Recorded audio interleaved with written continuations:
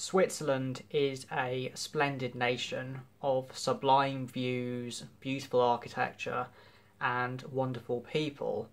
Whether you happen to find yourself in Bern or Basel, or simply just travelling around the country on the nation's roads.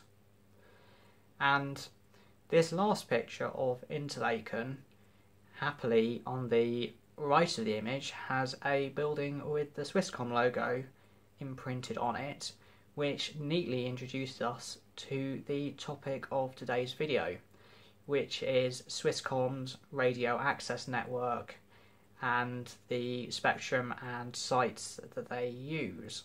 But first, here are some key facts about Swisscom.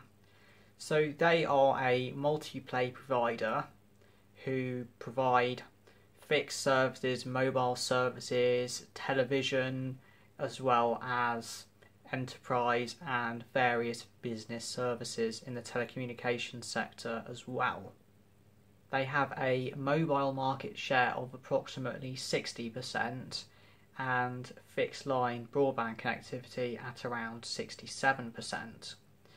This makes them the dominant provider. Swisscom use Ericsson as their sole radio access network equipment vendor, with Kathrein providing the antennas, and they perform excellently in third party network benchmark tests like P3 and Ookla's speedtest.net.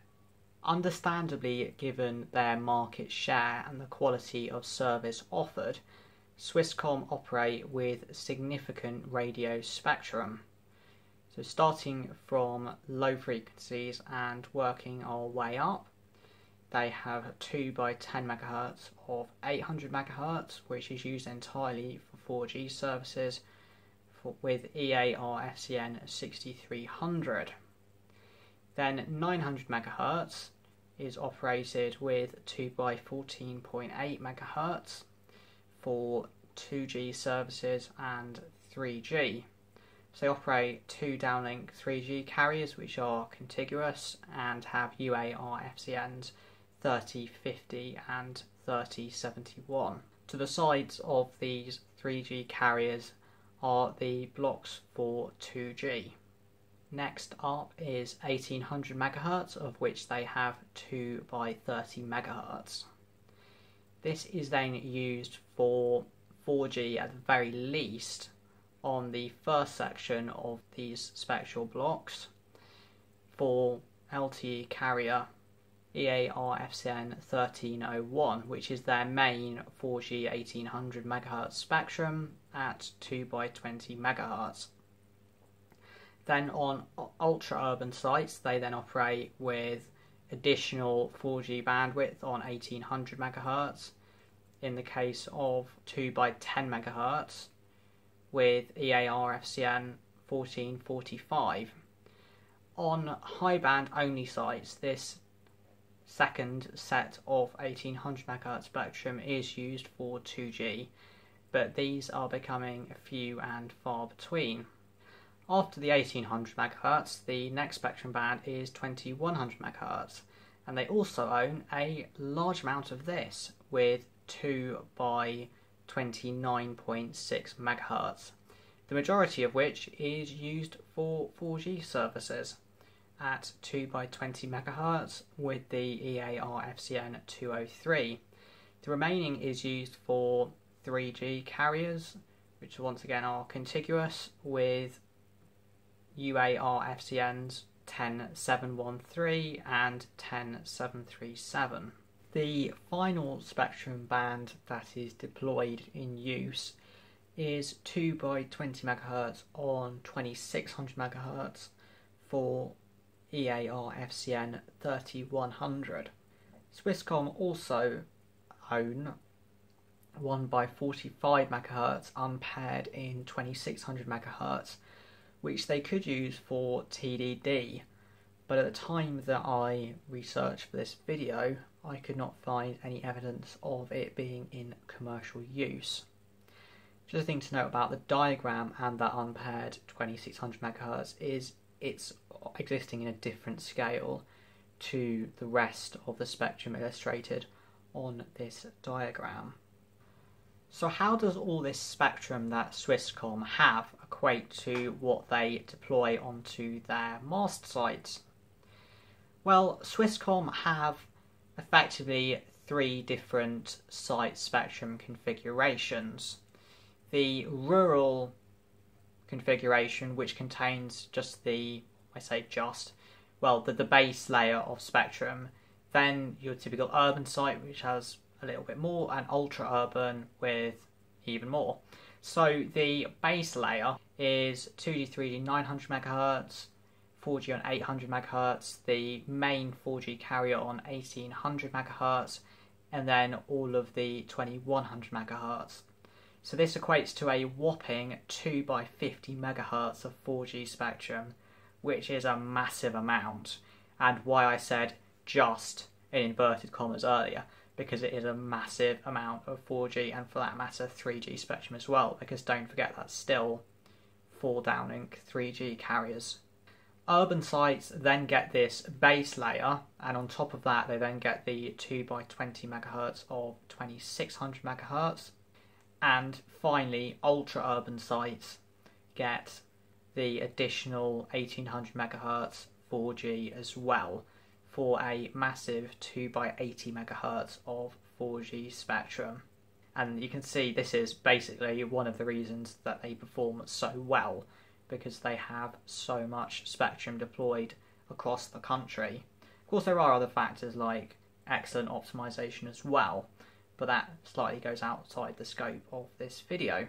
So now that we've covered the spectrum and background of Swisscom in Switzerland, let's now talk a bit about their mast sites. This is the first mast site that I will be talking about, which is an urban located one with all of the commercial spectrum bands present. At the top of the mast are dual low band Kathrein antennas Underneath those are triple high band ones, and below those are the Ericsson radio system remote radios for the high bands. Starting at the top of the mast, the dual low band Kathrein antennas are fed off diplexers located around them, which separate the diplex low bands from the feeds going up the mast into 800 900 to be fed into the separate ports on the dual low band Kathrein antennas. At the base of the mast where the equipment is located, the 800 900 MHz will be diplexed from the radios to go up feeders to hit the diplexers then located by the antennas. And doing it this way reduces the number of feeders that have to climb the mast, which is important for masts with a limited diameter where you can only fit say, a certain number of feeders inside and also from like a cable clutter point of view in terms of having a whole array of feeders on the outside of the mast which can then impact on things like wind loading. The high band side of things is dealt with with the lower antennas, like I said, the triple band Kathrein antennas, and four out of the six ports on these are being used. And each of the Ericsson Radio System remote radios, of which there are three for each sector, one for each of the high bands, is 44R. And therefore, each of the high band ports going to the Kathrein antenna has 1800, 2100, and 2600 triplexed together.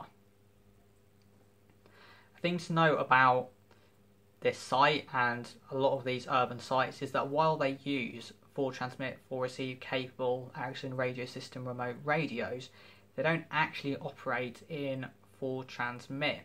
They only radiate to transmit with for receive, so increased receive diversity over a conventional 2T2R system. And the reason they do not operate with for transmit is likely due to Switzerland's incredibly strict radio emission limits which would mean that operating with for transmit would mean they would have to alter the coverage footprint from these sites in order to avoid exceeding the threshold regulatory limit for radio emissions. The next urban site is actually functionally almost identical, except this has fewer ports on the antenna side of things. So if we start off with the high band, they're using dual high band Kathrein antennas instead of triple with spare ports. So these have four high band ports, and once again, each of those is fed from a triplexer, which is connected up to the selection of remote radios for each of the high bands. So it's, from a high band point of view, identical, except there aren't any spare ports on the antenna side of things, really. On the low band side, once again, the 800 900 megahertz are diplexed at the radio side of things, but then they're not diplexed out at the antenna side.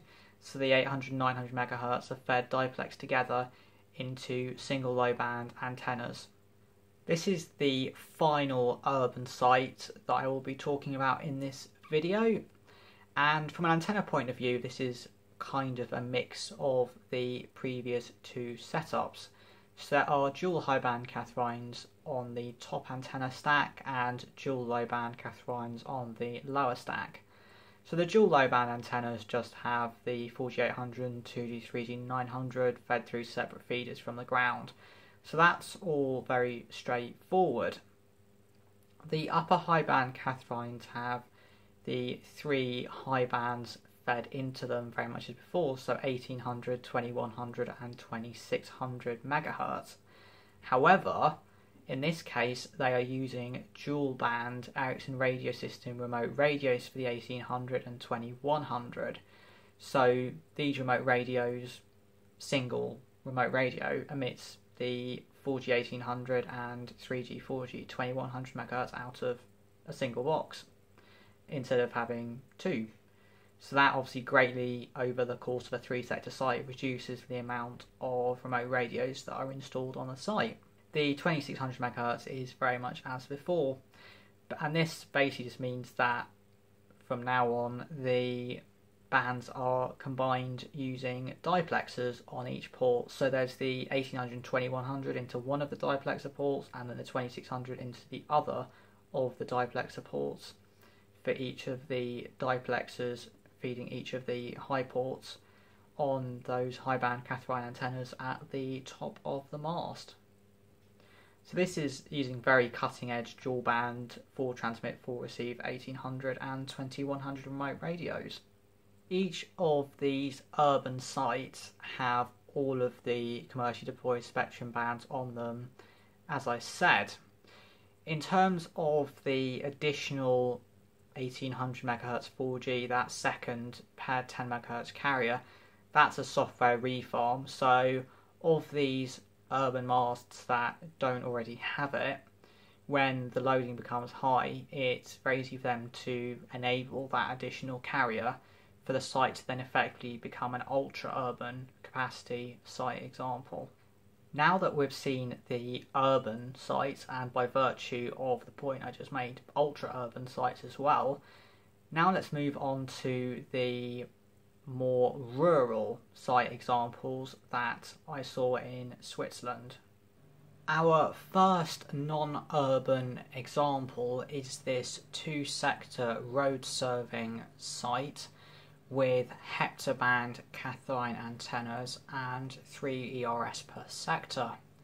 So a lot of spare antenna ports for certain and the schematic that I have come up with for this site has the 800 megahertz 1800 megahertz and 2100 megahertz on the Ericsson radio system remote radios and then 900 megahertz coming from the ground fed through Marsteller amplifiers. The second non-urban site has antennas very similar to the first site that we saw. So triple band Kathrein antennas in this case on top and dual low band Kathrein antennas below. And there are no remote radios on this site, but diplexers are visible. The 800 and 900 megahertz are diplexed on the radio side and then diplexed out at the antenna side again to separate 800 and 900 ports on the antennas, on the low band antennas. And for the 1800 megahertz and 2100 megahertz is the same, so they're diplexed on the ground and then diplexed out into separate ports. The next non urban example is very much the same as the second site we saw, it's the second urban site antenna wise in that it has dual high band Kathrein antennas and single low band ones. Now, down to the layout of the equipment on this site, it's not possible to say for certain which is remote radio and which is ground fed because on each level there are three remote radios. So on the top level, so the high band antennas, either 1800 or 2100 MHz is from remote radio, with the other band coming from the ground. Meanwhile, on the low band side of things, they're single low band antennas, so there are diplexers there, and then either 800 or 900 is coming from the ground, and the other coming from remote radio. Again, I'd be kind of tempted to put 900 megahertz on the ground and 800 megahertz are the lower set of remote radios, but for the upper set, I am not completely sure whether it's 1800 or 2100 megahertz which is on those remote radios and which is coming from the ground. The mast also has mast amplifiers for the ground fed bands. So in the case of the high band, which is fed from the ground based radios, it will go through the mast amplifiers before then going to the relevant ports on the antennas. Meanwhile, in the case of the low band, it will go from the radios to the relevant mast amplifiers and then into the diplexer where it will be diplexed with the band which is remote radio fed before it will then get fed to the antennas. The last of the typical non-urban sites features the same antennas as the last site except they're vertically inverted. The upper antennas are for low bands and have the mast amplifiers there and the lower ones are for the high bands, once again featuring mast amplifiers.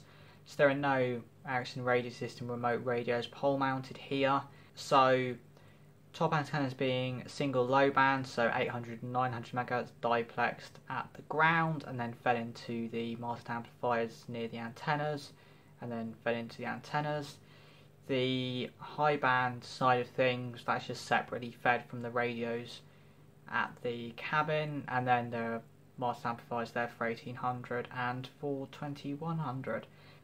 This next setup is a little bit more atypical so it has dual band Kathrein antennas, except these have a single low band and a single high band each. With all the bands this is carrying, that means that there will be diplexers on each of the bands. So the low band ports will have 800 MHz and 900 MHz diplexed, and the high band ports will have 1800 and 2100 MHz diplexed. Due to the number of Ericsson remote radios on this pole, I suspect three of the bands are remote radio fed and one is from the ground. So I've done as before, and I put 900 megahertz on the ground, going through master amplifiers, before then going into the diplexers where they'll it will get combined with the 800 megahertz off the remote radios and then fed into the low ports of the Kathrein antennas. And in the case of the high bands, the 1800 and 2100 from the Ericsson remote radios then gets diplexed again in the diplexers before then going to the high ports. The final site that I'll talk about is one of the rare high band only sites. So this has no 800 or 900 megahertz on it, but it still has 40 megahertz paired or 4G bandwidth. 20 megahertz pad from the 1800 megahertz and 20 megahertz pad from the 2100 megahertz. The remaining 1800 megahertz spectrum is used for 2G and the 3G is the two downlink carriers through 2100 megahertz. So by not having low band, it does end up with significantly reduced bandwidth overall.